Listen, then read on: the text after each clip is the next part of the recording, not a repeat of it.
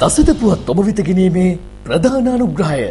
හැම වෙනස්කමකදීම අපි වෙනස් වුණේ ඔබේ දියුණුවට. හැඩන් නැෂනල් බැංක් 1888 සිට විශ්වාසයක උරුමය.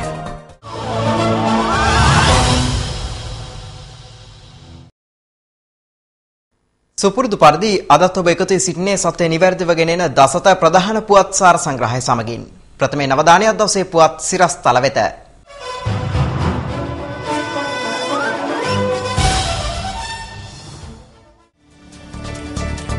විපක්ෂයේ දේශපාලන පක්ෂ කිහිපයක් විරෝධතා පාගමනක. ඇමති මෛත්‍රීපාලගේ නුතුරේ මහ ඇමතිවරයාට උපදෙස්. ලංකාවට එරෙහිව ස්ථීරවම යෝජනාවක් ගෙන එන බව ඇමරිකාව කියයි. ඊජිප්තු හමුදා නායකයා ජනපති සටනට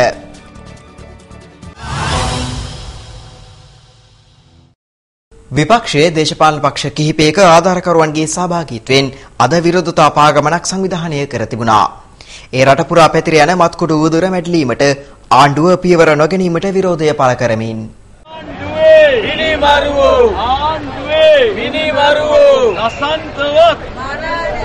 ලසන්තවත් මරා දැමුවා. උදේල් එකට ජන ආර්ය උතුරම කිරි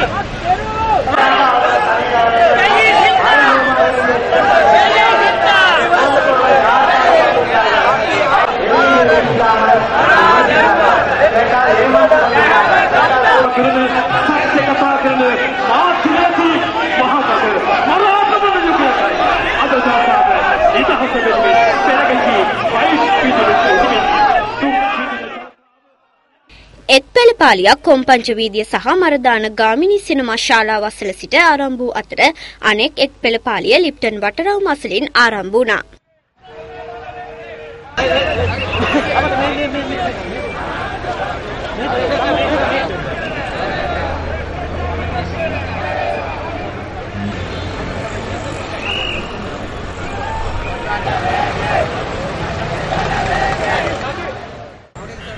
හයිඩ් පාක් තියෙන්නේ කැසිනෝ කලාපයට ඇතුළත් වෙලා.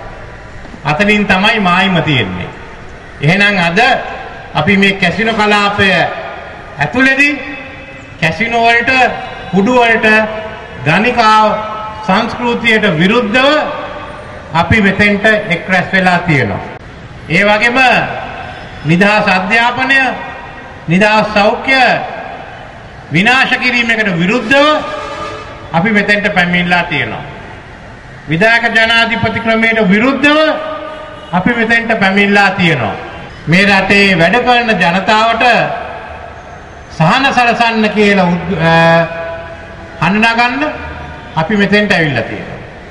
අපි මෙතෙන්ට ඇවිල්ලා තියෙන්නේ රාජපක්ෂ රෙජිමය මේ රට විනාශය කරා ගෙනියන ගමන නවත්තන්න. මොකද්ද අපි තරුණයන්ට දෙන්න තියෙන අනාගතේ? අද රාජපක්ෂ රජිමෙන් දෙන එකම අනාගතේ කුඩු. ඔන්න කුඩු තමයි දෙන්නේ. ඕන තැනක කුඩු ගන්න පුළුවන්. කිරි පැකට් බැරි වුණාට කුඩු පැකට් ගන්න පුළුවන්. මේ රටට වෙනසක් අවශ්‍යයි. ආණ්ඩුවක් වෙනස් කරලා තවත් පිරිසක් බලයට පත් කිරීම නෙවෙයි අපි අරමුණ. අපට නීතිකරුක සමාජයක් අවශ්‍යයි. දූෂණයෙන් භීෂණයෙන් තොර රටක් අවශ්‍යයි. මෙන්න මේ අවශ්‍යතාවය වටා සියලු පක්ෂ සියලු සංවිධාන සියලු වෘත්තීය සමිති සියලු ජාතීන් එක වේදිකාවකට ඒකරාශී වීමේ කාලය එළඹිලා තිබෙනවා. බුද්ධිමත්ව කටයුතු කරන ලෙස සෞඛ්‍ය අමාත්‍ය මෛත්‍රීපාල සිරිසේන මහතා දෙමළ ජාතික සන්ධානයට ඊයේ දැනුම් දුන්නා.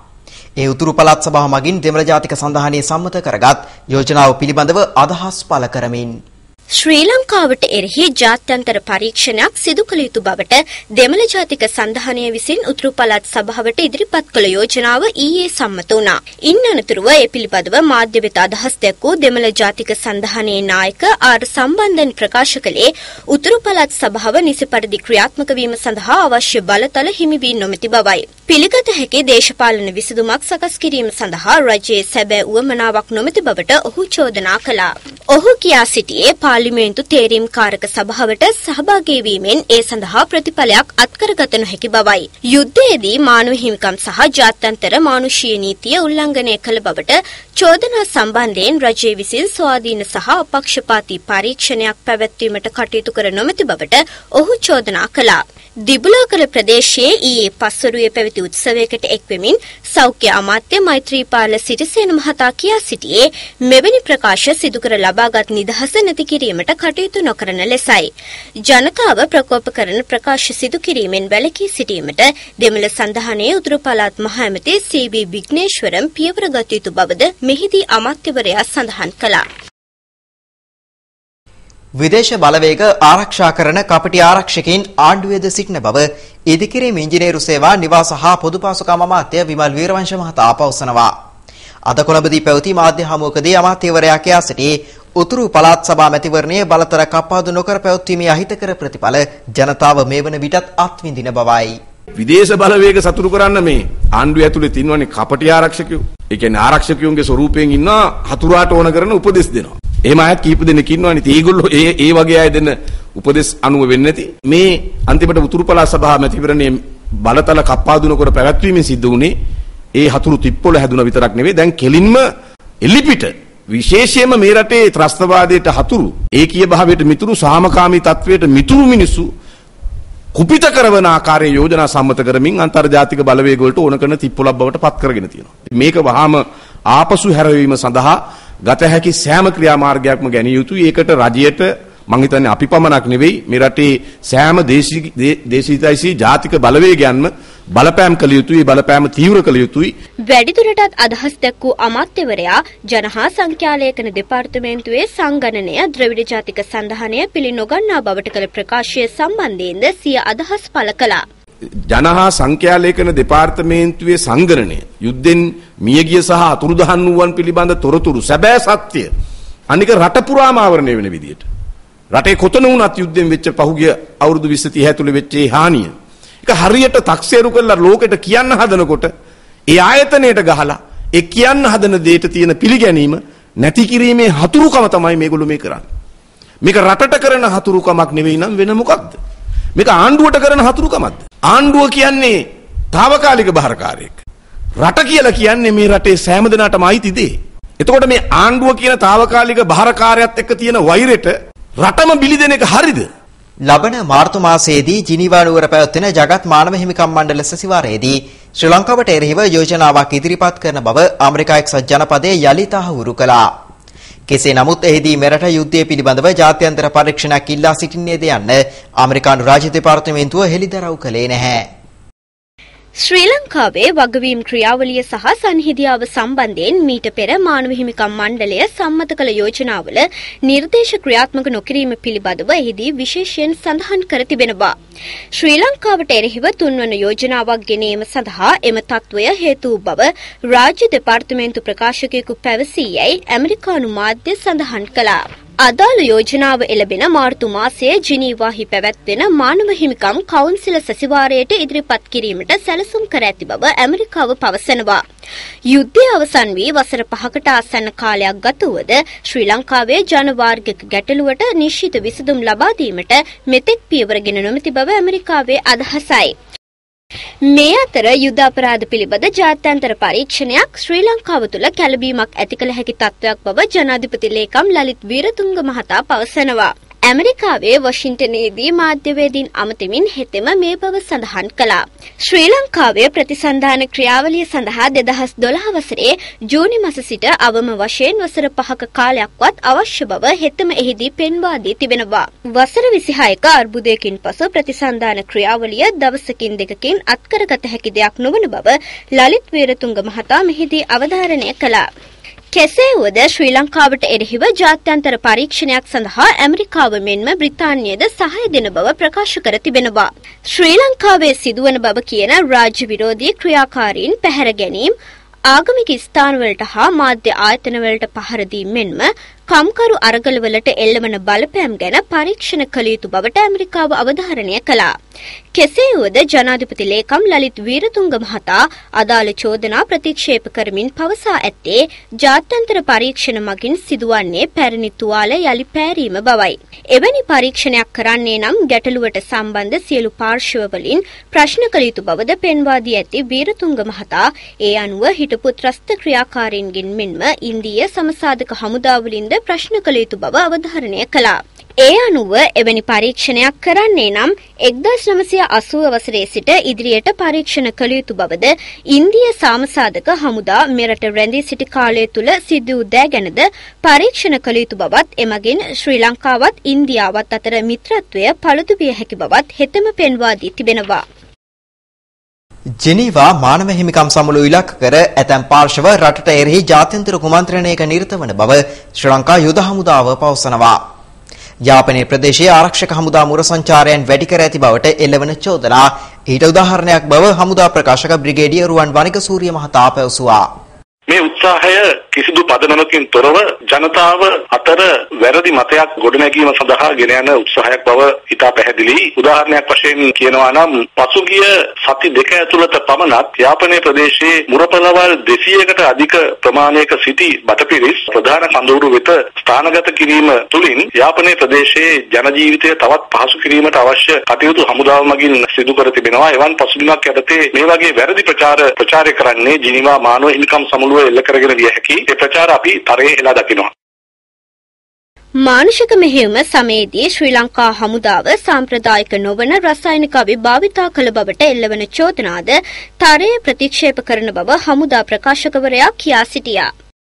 ශ්‍රී ලංකා හමුදාව කිසිදු අවස්ථාවක සාම්ප්‍රදායික නොවන අවිභාවිතා කිරීමක් නොකළ බව යලිත් අවධාරණය කරන අතරම අපි මතක් කරන්න කැමති ත්‍රස්තවාදීන් නම් විවිධාකාර වූ සාම්ප්‍රදායික නොවන ක්‍රමවේදයන් අනුගමනය කරමින් ආරක්ෂක හමුදාවටත් සිවිල් ජනතාවටත් ප්‍රහාර එල්ල කළ බව. එවන් ප්‍රහාර මැදියේ වූ ශ්‍රී ලංකා හමුදාව කිසි දිනක සාම්ප්‍රදායික නොවන ක්‍රමවේදයන් අනුගමනය නොකළ බව අපි අවධාරණය කරනවා. දැන් කෙටි විරාමයක් විරාමෙන් අනතුරුව තවත් දේශීය පුවත් බලාපොරොත්තු වන්න.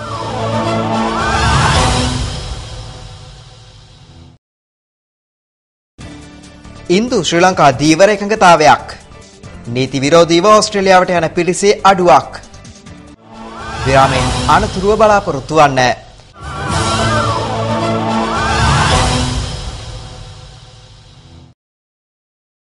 විරාමෙන් අනතුරු යලිත් අවධානය දේශීය පුවත් වෙත.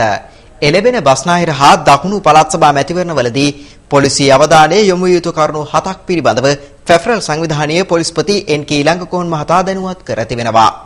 ඒ ඉක්ුත් පළාත් සභා මැතිවරණවල අත්දැකීම්ද සැලකිල්ලට ගනිමින් ඒ අනුව ගරාජ් අංක සහිත වාහන සම්බන්ධයෙන් නීතිය ක්‍රියාත්මක කරන නිලධාරීන් අපහසුතාවයට පත් නොවන ආකාරයේ සුදුසු වැඩපිළිවෙලක් සකස් කරන ලෙසට පැෆරල් සංවිධානය ඉල්ලා සිටියා.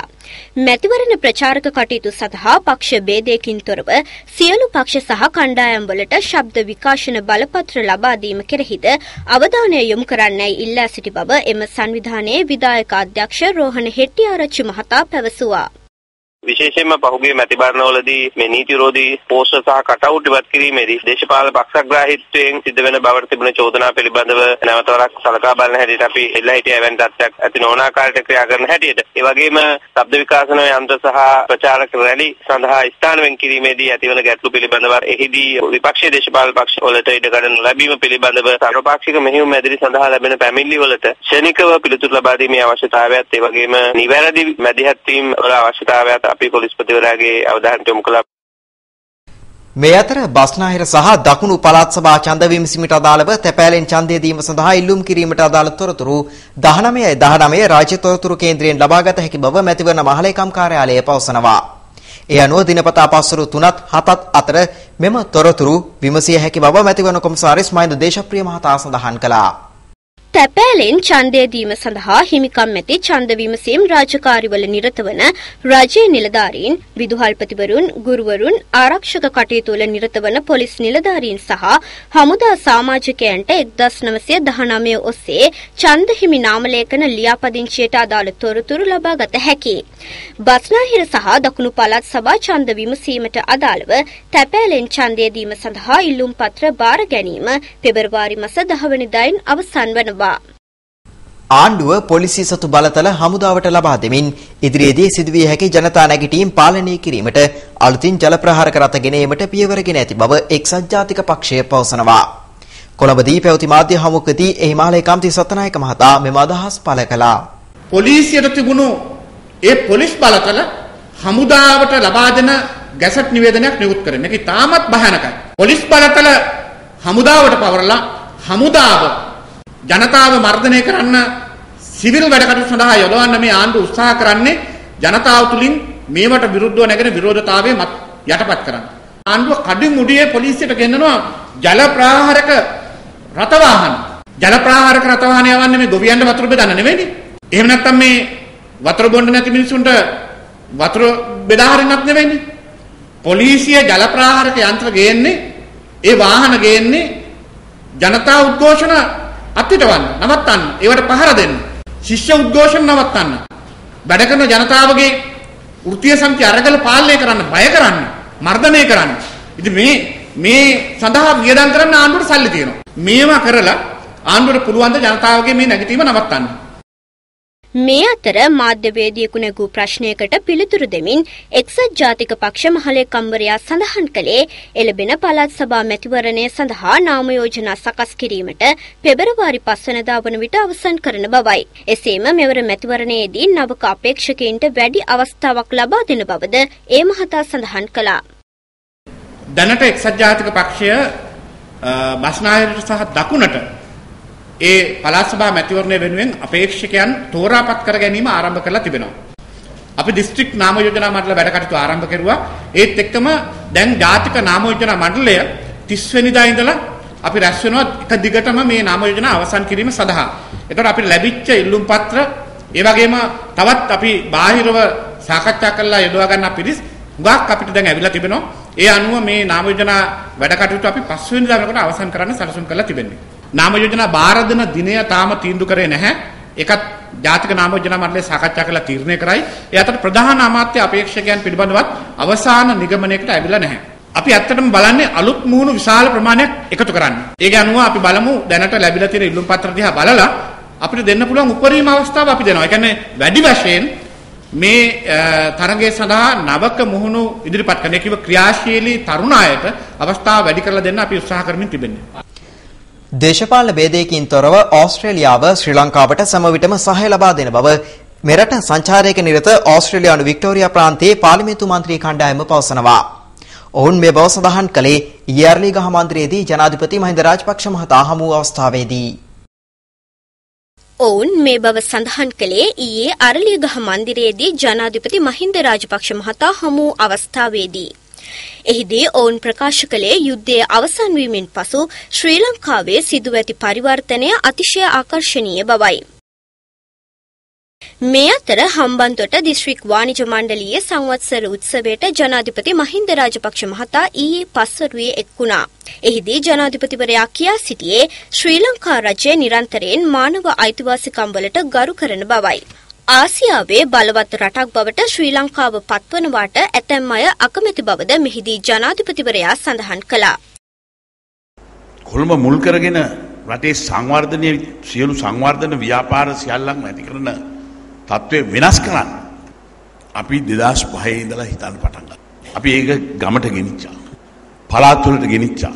සංවර්ධනය කොළඹින් බෑරව බස්නාහිර පළාතින් බෑරව ගමට යන්න පටන් අපි වරාය ගෙනාවා. සමහරු හිනාවුණා. අදටත් හිනාවෙන. ව්‍යාපාර ගොඩනැගෙන්න නම් ඉවෙන් යටිතල පහසුකම් තියෙන්න ඕන. මේකට නොයෙක් බාධා ඇති වුණා. අවුරුදු 750කට පස්සේ මං හිතන්නේ වරායක් අලුතෙන්. ඒ විතරක් නෙවෙයි. නිදහසෙන් පස්සේ අපි හදපු මං හිතන්නේ අවුරුදු ගානකට පස්සේ නව ජාත්‍යන්තර ගුවන් තොටුපළත් අපි හම්බන්තොට ඉරේ කළා. ඒක මුළු දකුණේ ව්‍යාපාරිකයන්ට අම්බතොට විතර ව්‍යාපාරිකයන්ට විතරක් නෙවෙයි දකුණේ ව්‍යාපාරිකයන්ට මේක ගොඩනැගෙන්න හොඳ තෝතැන්න. මේ ප්‍රදේශයේ නව පරිපාලන සංකීර්ණයක් ගොඩනැගුණා.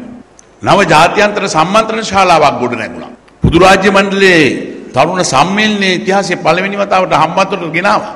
දැන් අපි 2017 දී ජාත්‍යන්තර ක්‍රීඩා උළෙල තරුණ ක්‍රීඩා උළෙල පවත්වන්නට අපි සූදානම් වෙමින් පවතී. ක්‍රිකට් ක්‍රීඩාංගණයක් හැදුවා. පළවෙනි වියලි කලාපීය උද්‍යානය අපි පළවෙනි වතාවට මෙහි ආරම්භ කරා. ඒ වෙනස ඉතා ඉක්මනින් සිදුවමින් පවතින. මේ අතර ශ්‍රී ලංකාව සමග අකණ්ඩ හවුල්කාරීත්වයක් පවත්වාගෙන යාමට සූදානම් බව ලෝක බැංකු නියෝජිතයින් ජනාධිපති මහින්ද රාජපක්ෂ මහතා හමුවේ සඳහන් කළා. මෙරට සංචාරයක නිරත වන ලෝක බැංකුවේ දකුණු ආසියානු කලාපීය උපසභාපති ෆිලිප් ලූ උලුලෝ මහතා ඊයේ දහවල් අරලියගහ මන්දිරයේදී ජනාධිපති මහින්ද රාජපක්ෂ මහතා හමු වුණා. ජනාධිපති මාධ්‍යංශය සඳහන් කළේ එහිදී ශ්‍රී ලංකාවේ සංවර්ධන ක්‍රියාදාමය හා ලෝක බැංකු සහ ශ්‍රී ලංකාව අතර සහයෝගීතාවය පිළිබඳ සාකච්ඡා කළ බවයි.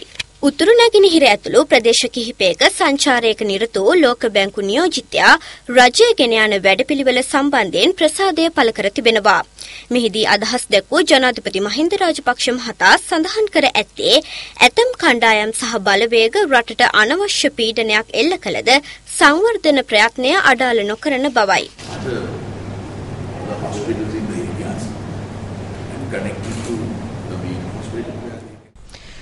ඉන්දු ලංකා දීවර සාකච්ඡාවලදී දෙරටේ දීවරින් එක්ක සෝදතාවය වර්ධනය කරන යෝජනාවලියක් සකස් කර ඇති බව දීවර නියෝජ්‍ය අමාත්‍ය සරත් කුමාර ගුණරත්න මහතා පවසනවා. ශ්‍රී ලාංකික හා තමිල්නාඩු දීවරින් අතර සාකච්ඡා චෙන්නහිදී ඊයේ පැවැත්වුණා.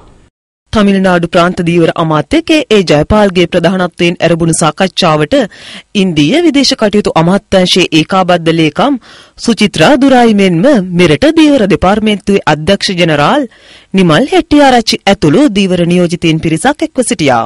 නියෝජ්‍ය අමාත්‍යවරයා සඳහන් කළේ මෙම යෝජනාවලිය දෙරටේ දීවර නියෝජිතයින් විසින් සිය රජයන් වෙත බාර දෙනු ඇති බවයි. මේ අතර ඉන්දු ලංකා දීවර සාකච්ඡාවේදී දෙරටේ දීවරයින් අතර එකගතාවයක් ඇති වී තිබෙන බව හින්දු පුවත්පත වාර්තා කළා. දීවර නියෝජිතයින් ප්‍රකාශ කර ඇත්තේ එම එකගතාවන් දෙරටේ රජයන්හි අනුමැතිය සඳහා යොමු කරන බවයි. එමෙන්ම ඉදිරි මාසය තුල ශ්‍රී ලංකාවේදී දෙරටේ දීවරයින් අතර තවත් සාකච්ඡාවටයක් පැවැත්වීමටද මෙහිදී එකගතාවය පළ වූ බව ඉන්දිය මාධ්‍ය සඳහන් කළා. මෙවිරාමෙන් අනතුරුව යලිත් හමුවෙමු.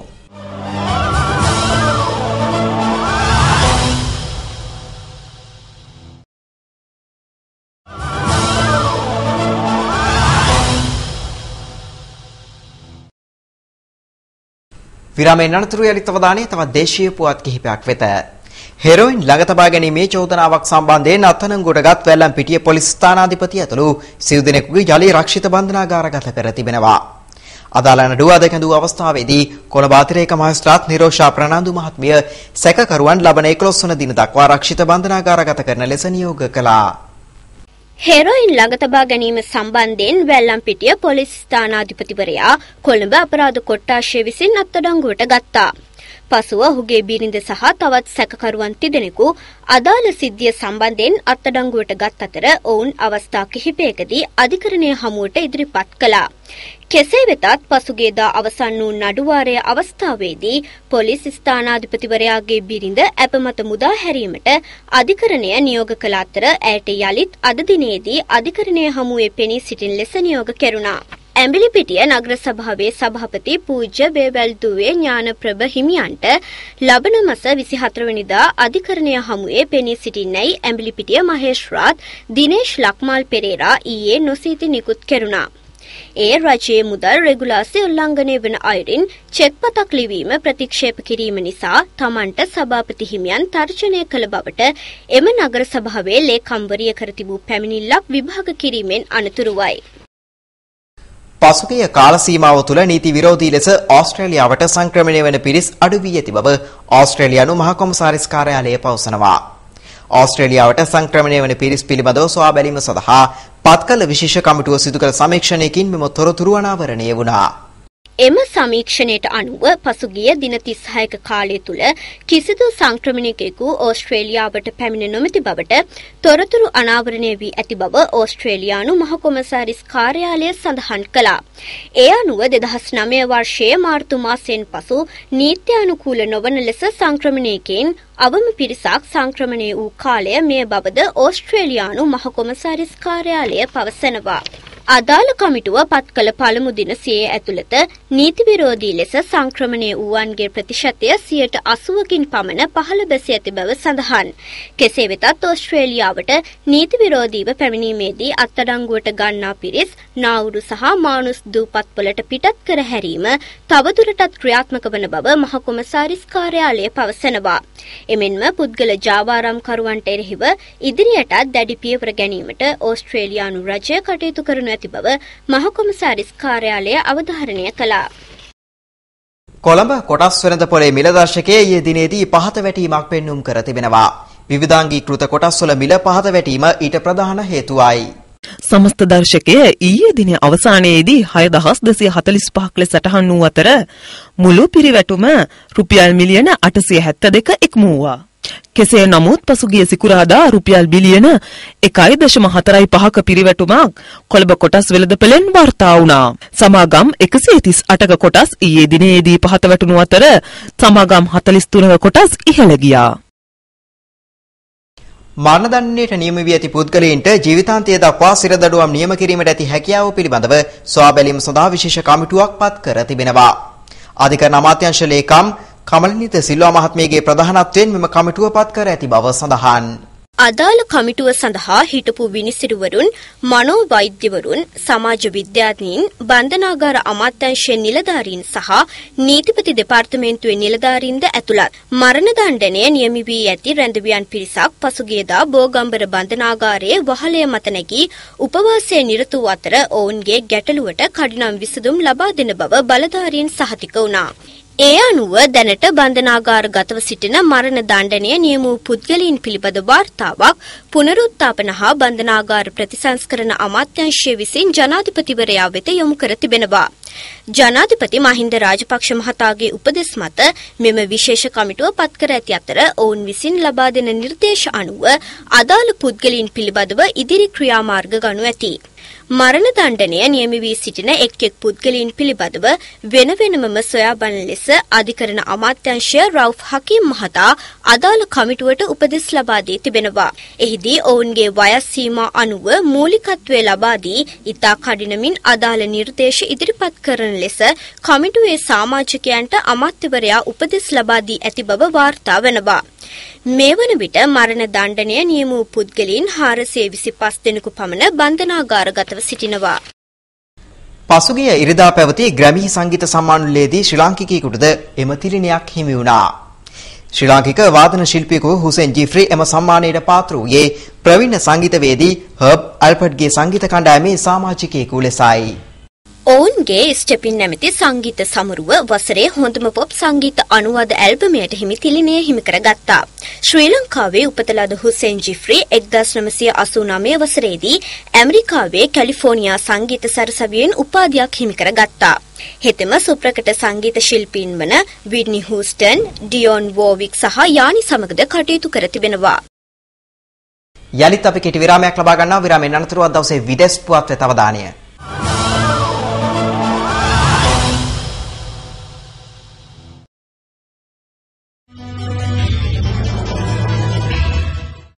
විරාමයෙන් අනතුරුව දැන් අවධානය අද දවසේ විදෙස් පුවත් වෙත. ඊජිප්තුවේ ප්‍රජාතන්ත්‍රවාදී මැතිවරණයකින් බලයට පත් වූ මුස්ලිම් සහෝදරත්වයේ මොහමඩ් මුර්සි බලයෙන් පහ කළ හමුදා නායක අබ්දුල් ෆටා අල් සිසි එරට ජනාධිපති වන සටන සඳහා ඉදිරිපත් කරන බව ඊයේ නිල වශයෙන් ප්‍රකාශ වුණා. එරට මාධ්‍ය ඊයේ සඳහන් කළේ ඊජිප්තු ආරක්ෂක හමුදාවල උත්තරීතර මණ්ඩලය ඒ සඳහා අනුමැතිය ලබා දුන් බවයි. ෆීල්ඩ් මාර්ෂල්වරයෙකු වන මොහොමඩ් මෝර්සි ජනාධිපති ධූර අපේක්ෂකත්වයට පත්කිරීම සම්බන්ධයෙන් මුස්ලිම් සහෝදරත්වය දැඩි විරෝධතාවය පළ කළා. කයිරෝවේ පැවති විරෝධතා රැලිවලදී ඔවුන් ඊජිප්තු හමුදා නායකයා හැඳුන්වූයේ ඝාතකයෙකු ලෙසයි. About 60 people were shot dead in clashes. සඳ මතුපිට ගවේෂණ කටයුතු සඳහා චීනය විසින් යවනු ලැබූ රෝවර් යානයේ කාර්මික දෝෂයක් නිසා ක්‍රිය වී තිබෙනවා. දෝෂය හටගෙන ඇත්තේ චන්ද්‍ර රෝවර් යානයේ සූර්ය බලශක්තිය උත්පාදකවලයි. කෙසේ නමුත් චීන විද්‍යාඥයන් ප්‍රකාශ කළේ සෙන්ට්‍රගේට් අංශක ඍණ 292 දක්වා උෂ්ණත්වය පහත වැටුණු පළමු චන්ද්‍ර රාත්‍රියේදී එහි සංවේදක තවදුරටත් ක්‍රියාත්මකව පැවති බවයි. එමෙන්ම ඒ යථා තත්ත්වයට පත්වීමේ බලාපොරොත්තුවක් පවතින බවද ඔවුන් සඳහන් කළා. එක්සත් ජාතීන්ගේ මානව හිමිකම් මණ්ඩලයේ සමාජිකත්වයේ යලි අපේක්ෂා කරන බව ඉන්දියාව පවසනවා. සමාජික රටවල් 47කින් සමන්විත ජගත් මානව හිමිකම් මණ්ඩලයේ ඉන්දිය සමාජිකත්වයේ මේ වසර අවසානයෙන් ඉක්ුත් වනවා. ඉන් අනතුරුවද එහි සමාජිකත්වය අපේක්ෂා කරන බව නිව්යෝක් නුවර ජගත් සංවිධාන මූලස්ථානයෙන් ඉන්දිය තානාපති අශෝක් කුමාර් මුකර්ජි ප්‍රකාශ කර තිබෙනවා. ඔහු පවසා ඇත්තේ එක්සත් ජාතීන්ගේ ආරක්ෂක මණ්ඩලයේ ප්‍රතිසංවිධානයක් සඳහා කරුණු ඉදිරිපත් කිරීමට මානව හිමිකම් මණ්ඩලයේ සමාජිකත්වය ඉන්දියාවට වැදගත් වන බවයි. මානව හිමිකම් මණ්ඩලයට සමාජික රටවල් තෝරාපත් කරගෙනෙන්නේ වසර 3ක කාලයක් සඳහායි. පසුගිය වසරේදීද චීනය, සෞදි අරාබිය සහ රුසියාව ඇතුළු රටවල් 14ක් එහි සමාජික රටවල් අතරට ඇතුළත් කෙරුණා. requiring it to get rid of weapons that have been used to devastating effect as tools of terror. දස වසරක් දේශපාලනයේ නිරත වූද මෙතෙක් රූපහානි සම්මුඛ සාකච්ඡාවකට සහභාගී නොවූ ඉන්දිය කොංග්‍රස් පක්ෂයේ උපසභාපති රාහුල් ගාන්ධි ඊයේ එවැනි සාකච්ඡාවක් ප්‍රථම වරට ලබා දුන්නා. ඔහු එහිදී කියා සිටියේ ලබන වසරේ පැවැත්වෙන ඉන්දිය මහමැතිවරණයෙන් නරේන්ද්‍ර මෝඩිගේ ಭಾರತೀಯ ජනතා පක්ෂය ජය ගන්නා බවට කොතෙක් මත පළවුවත් කොංග්‍රසය එහි වැඩි ජයග්‍රහණයක් හිමි කර ගන්නා බව සහතික බවයි. තමා දේශපාලන පවුලකින් බිහි වුවද ඒ තමාගේ තෝරා ගැනීමක් නොවන බවත් පෙළපත් දේශපාලනය තමා පිටු දකින බවත් රාහුල් ගාන්ධි වැඩිදුරටත් සඳහන් කළා. ඔහු කියා සිටියේ සිය ජීවිත කාලය තුළ මිත්තෙනිය වූ ඉන්දිරා ගාන්ධි සහ පියා වූ රජීව් ගාන්ධි ඝාතනයට ලක්වීමේ අත්දැකීම් ඇති තමාට ඡන්ද සටන අභියෝගයක් නොවන බවයි. The issue is basically how the Prime Minister in this country is chosen. Where the Prime Minister is chosen in this country is through the MPs. We, the, our system basically chooses MPs and then the MPs elect. අදට නියමිත කෙලිබිමේ පුවත් මෙවරමෙන් අනතුරුව බලාපොරොත්තු වන්න.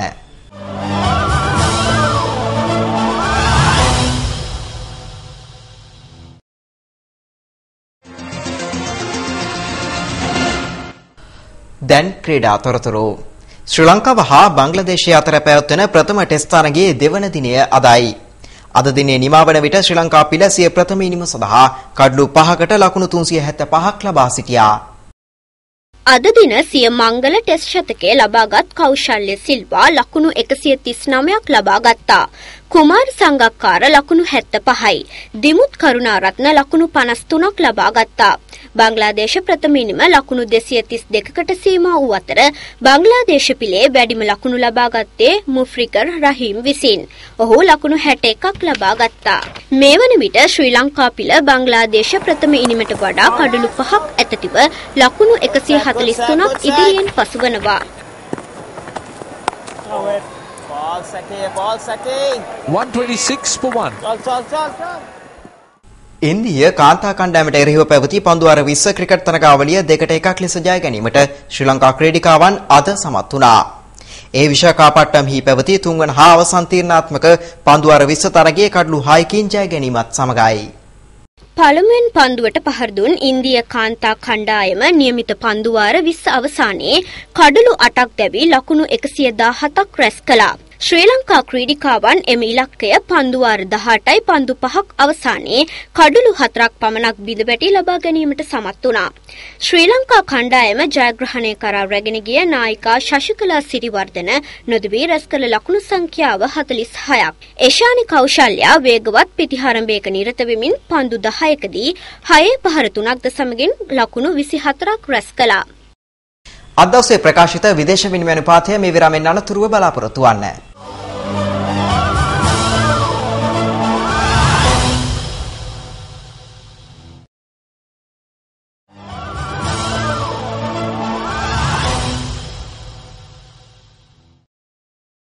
ශ්‍රී ලංකාවේ රුපියලට සාපේක්ෂව දොස්සේ ප්‍රකාශිත විදේශ විනිමය අනුපාතය දැන්.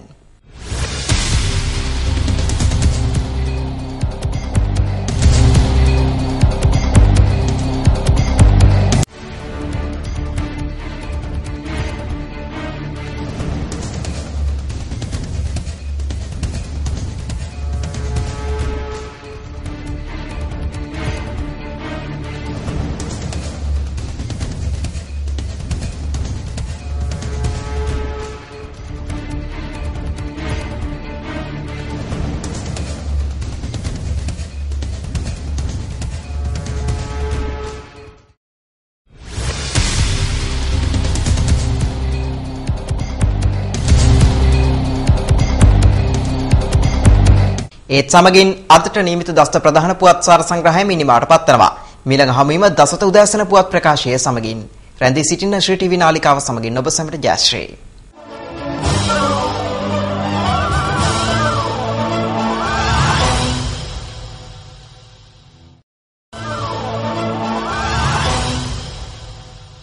දසත පුවත් ඔබ වෙත ගෙනාවේ.